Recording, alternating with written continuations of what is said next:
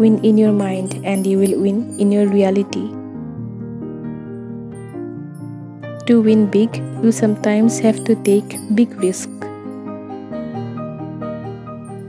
The longer you live in past, the lesser future you have to enjoy.